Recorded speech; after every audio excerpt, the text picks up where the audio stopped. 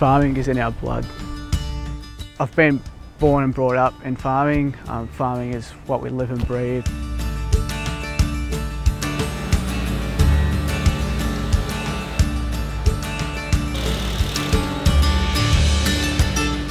We're in manufacturing and agriculture as our main businesses, uh, so Grewal Farms and uh, Golden Grain Flour Mills.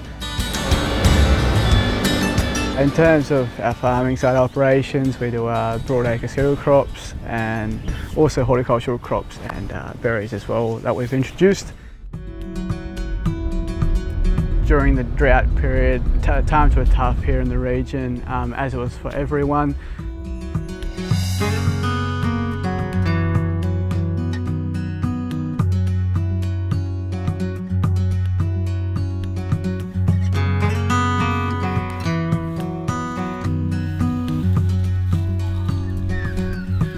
We're trialing two varieties of raspberries and different methods.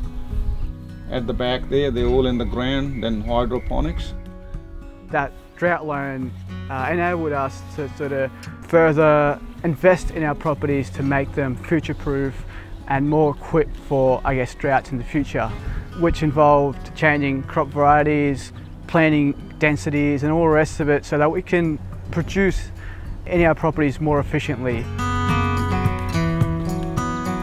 Over the years this will enable us to prepare for the future of irrigation, water and droughts.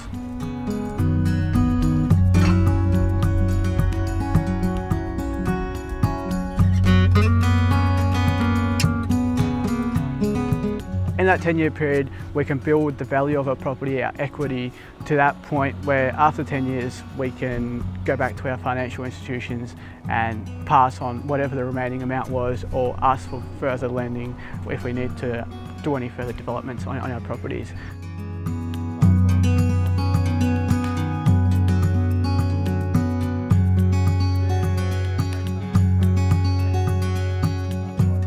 It's pretty easy. So the team, the Rural Financial Services team, they were working with our financial institutions and with our team to get the necessary and required information for this uh, application to go through and to be assessed correctly.